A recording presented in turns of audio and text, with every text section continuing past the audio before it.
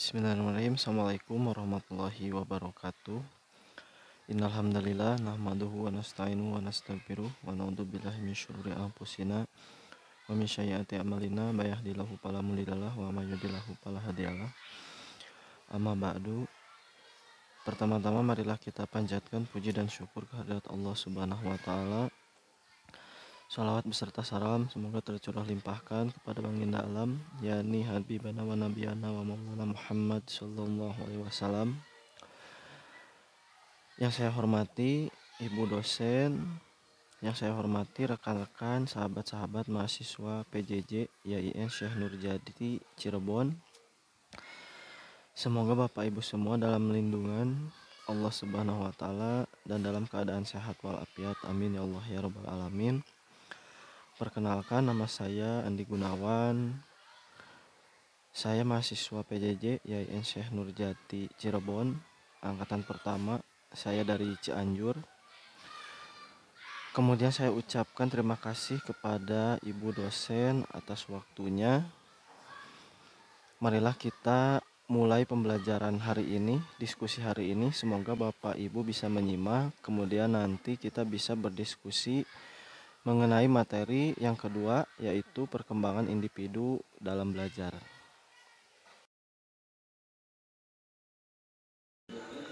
Baiklah Bapak Ibu, yang pertama perbedaan antara pertumbuhan dan perkembangan.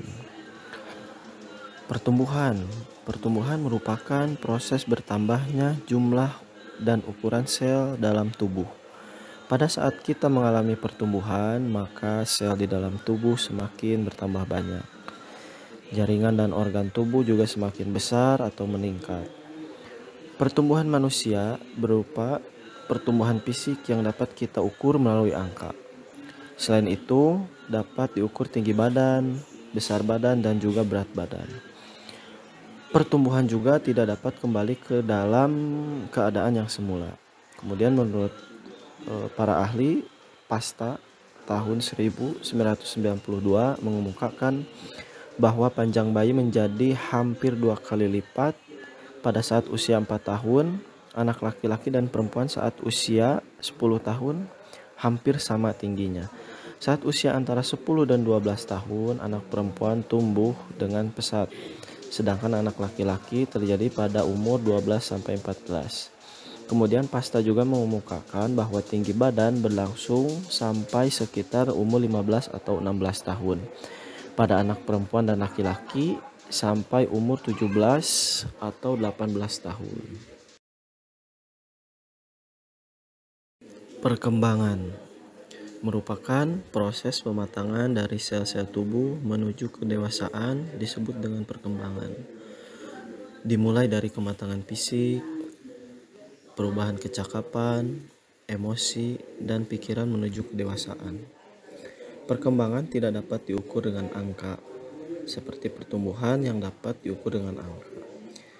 Arti perkembangan menurut Desmita tahun 2009, perkembangan tidak terbatas pada pengertian pertumbuhan yang semakin membesar, melainkan di dalamnya juga terkandung serangkaian perubahan yang berlangsung secara terus-menerus dan bersifat tetap dari fungsi-fungsi jasmania dan rohania yang memiliki yang dimiliki individu menuju tahap kematangan melalui pertumbuhan, pemasakan, dan belajar. Selanjutnya mengenai prinsip-prinsip perkembangan yaitu ada tujuh. Kemudian menurut para ahli menurut Padilah Suralaga dalam buku Psikologi Pendidikan yang berjudul Implikasi dalam Pembelajaran tahun 2021 proses perkembangan manusia adalah sesuatu hal yang kompleks tetapi ada beberapa prinsip umum yang bisa diaplikasikan pada semua anak dan semua bentuk perkembangan. Nah, dari prinsip tujuh prinsip ini yang pertama itu adalah learning contributes to development kemudian yang kedua experience and change development yang ketiga social inter interaction is essential for the for development yang keempat development strongly depends on language. Yang kelima, development is continuous and reality orderly. Yang keenam, individual develop at different rates. Dan yang terakhir, development in influence by materials generally control age related change in individual. Mohon maaf ya Bapak Ibu, bahasa Inggrisnya kurang bagus. Selanjutnya mengenai prinsip-prinsip perkembangan, mari kita lihat sama-sama. Yang pertama, learning contributes to development yaitu berkaitan dengan peningkatan pemahaman, peningkatan kemampuan atau keterampilan. Di sini contohnya siswa belajar berhitung sederhana, kemudian mengaplikasikan dalam mengerjakan soal-soal yang berbeda, yang bentuknya seperti berhitung menurun, kemudian soal cerita, dan lain-lain. Maka kemampuan berhitungnya akan semakin berkembang. Kemudian yang kedua, experience and change development, yaitu pengalaman dapat memperkuat perkembangan. Misalnya, anak-anak mempunyai orang tua yang mempunyai kebiasaan membaca, kemudian berdiskusi dengan anak-anak akan memberikan manfaat pada anak ketika belajar di sekolah. Kemudian yang ketiga, social extension is essential for development. Yaitu interaksi sosial akan memberikan kesempatan pada anak-anak untuk belajar berbagi dan membandingkan pengetahuan dan keterampilan dengan anak-anak yang lain. Selanjutnya, prinsip yang keempat adalah development strongly depends on language. Dalam hal ini bahasa merupakan media dalam berpikir, berbagi ide dan pengalaman sosial. Kemudian yang kelima, development is continuous and relatively orderly, yaitu kemampuan individu memiliki di, memiliki diperoleh secara bertahap dan berkesinambungan. Tidak sekoyong-koyong melompat dari satu kemampuan ke kemampuan yang lain. Kemudian yang kelima, individual develop at different rates, yaitu individu berkembang pada rentangan yang berbeda-beda. Mungkin ada anak yang bisa mencapai suatu kemampuan tertentu lebih cepat, seperti bicara, berjalan, dan lain sebagainya, lebih cepat atau lebih lambat dari teman seusianya. Kemudian yang terakhir, development is influenced by maturation, gene genetically control, age-related change in individual, yaitu perkembangan dipengaruhi oleh kematangan genetik dan e, terkait dengan usia individu. Secara umum, anak yang berusia 10 tahun akan berlalu lebih cepat dibandingkan ketika dia berumur 5 tahun.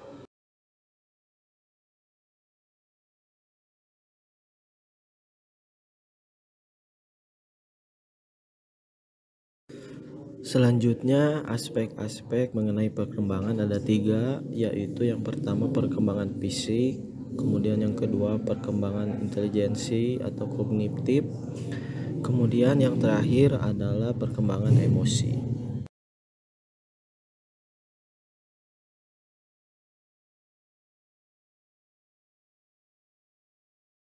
Nah, dari aspek-aspek perkembangan tersebut, yang pertama pemaparannya yaitu tentang perkembangan fisik. Yang dimaksud dengan perkembangan fisik adalah perubahan pada tubuh, otak, kapasitas sensorik, dan keterampilan motorik. Ini menurut Papalia dan Olds tahun 2001. Perubahan pada tubuh atau fisik ditandai dengan pertambahan tinggi dan berat tubuh pertumbuhan tulang dan otot, dan kematangan organ seksual dan fungsi reproduksi.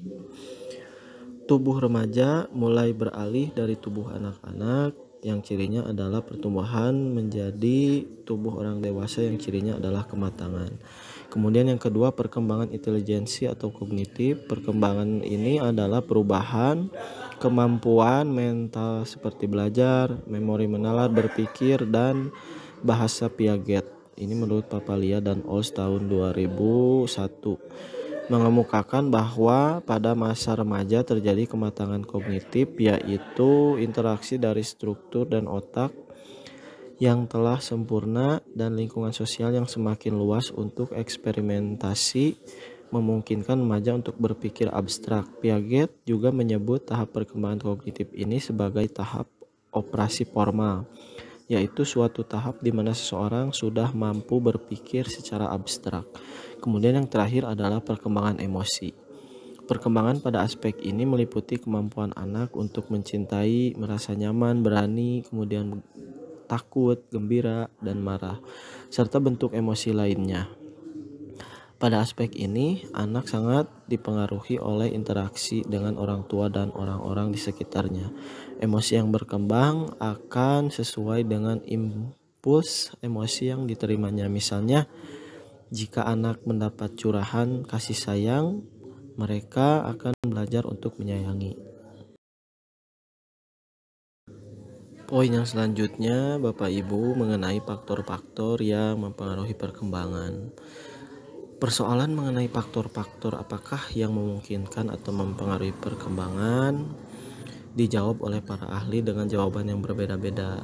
Para ahli yang berkaitan dengan napitisme berpendapat bahwa perkembangan individu semata-mata ditentukan oleh unsur pembawaan. Jadi, perkembangan individu semata-mata tergantung pada faktor dasar atau pembawaan.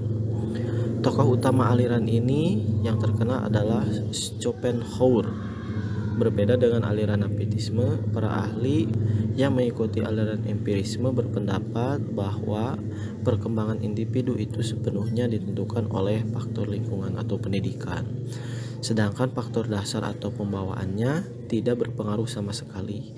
Aliran empirisme ini menjadikan faktor lingkungan atau pembawaan maha kuasa dalam menentukan perkembangan seorang individu. Tokoh aliran ini adalah John Locke.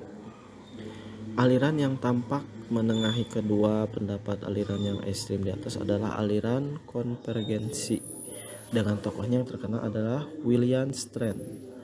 Menurut ah, menurut aliran konvergensi, perkembangan individu itu sebenarnya ditentukan oleh kedua kekuatan tersebut, baik faktor dasar bawa pembawaan maupun faktor lingkungan. Keduanya secara konvergens akan menentukan atau mewujudkan perkembangan seseorang individu. Selain dengan pendapat ini, Ki Hajar Dewantoro, tokoh pendidikan nasional juga e, mengemukakan adanya dua faktor yang mempengaruhi perkembangan individu, yaitu faktor dasar atau pembawaan yang kemudian e, dimasukkan ke dalam faktor internal dan juga faktor ajar atau lingkungan, yaitu e, faktor eksternal. Nah, kemudian eh, poin selanjutnya, seberapa penting perkembangan bagi proses pembelajaran? Setiap organisme, baik manusia maupun hewan, pasti mengalami peristiwa perkembangan selama hidupnya. Sesuai dengan definisinya, bahwa perkembangan dimaksudkan untuk menunjukkan perubahan-perubahan dalam bentuk atau bagian tubuh dan integrasi sebagai bagiannya dalam suatu kesatuan fungsional bila pertumbuhan itu berlangsung. Jadi, kalau pertumbuhan itu dapat diukur, sedangkan perkembangan hanya dapat diamati dengan memperhatikan perubahan dalam bentuk-bentuk tingkah laku, pada saat itu telah e, tercapai kematangan dalam rangka memungsikan tahapan-tahapan perubahan yang menyertai perkembangannya, manusia harus belajar melakukan kebiasaan-kebiasaan tertentu, umpamanya kebiasaan belajar, kemudian berjalan, berbicara pada usia matang. Seperti itu proses belajar adalah proses di mana seseorang mengalami tingkah laku, meningkatkan penampilan, mengorganisasi pikiran atau menentu atau menemukan suatu cara baru dalam tingkah laku. Dalam proses perkembangan pendidikan, setiap tingkatan memiliki fase-fase tertentu untuk menunjukkan peningkatan secara jasmani dan rohani. Manusia membutuhkan kepandaian bersifat jasmania dan rohania. Dan ini dapat dicapai melalui proses pembelajaran. Nah, selanjutnya adalah kesimpulan e, dari saya, yaitu perkembangan merupakan suatu proses yang pasti dialami oleh setiap individu. Perkembangan adalah proses yang bersifat kualitatif dan berhubungan dengan kematangan seseorang individu yang ditinjau dari perubahan yang bersifat progresif serta sistematis di dalam diri manusia. Dengan mempelajari perkembangan peserta didik, kita dapat mengetahui apa saja yang mempengaruhi perkembangannya, yaitu seperti fisik, kemudian organismik, dan sosial. Dan perkembangan dalam proses pendidikan juga mempunyai tujuan, yaitu memberikan, mengukur, dan menerangkan perubahan dalam tingkah laku serta kemampuan yang sedang berkembang sesuai dengan tingkat umur dan yang mempunyai ciri-ciri universal. Dalam arti yang berlaku bagi anak-anak di mana saja dan dalam lingkungan sosial budaya mana saja. Mempelajari perbedaan-perbedaan yang bersifat pribadi pada tahapan atau masa perkembangan tertentu. Mempelajari tingkah laku anak pada lingkungan tertentu yang menimbulkan reaksi yang berbeda. Sehingga dengan melihat fase-fase perkembangan tersebut bisa dijadikan tolak ukur di dalam uh, dunia pendidikan. Mungkin itu saja dari saya mengenai uh, materi yang kedua yaitu tentang perkembangan individu dalam belajar. Semoga Bapak Ibu semua rekan-rekan mahasiswa tidak puas dengan apa yang saya sampaikan. Kemudian nanti Bapak Ibu kita semuanya bisa belajar dan juga mencari sumber-sumber yang lain yang lebih relevan. Kemudian saya juga memohon maaf apabila ada kata-kata yang kurang berkenan di Bapak Ibu. Kemudian saya juga mohon maaf uh, apabila rekaman suaranya uh, ada suara-suara yang mengganggu karena saya sekarang uh, masih atau sedang berada di sekolah Mungkin itu saja yang dapat saya sampaikan. Terima kasih atas perhatiannya. Assalamualaikum warahmatullahi wabarakatuh.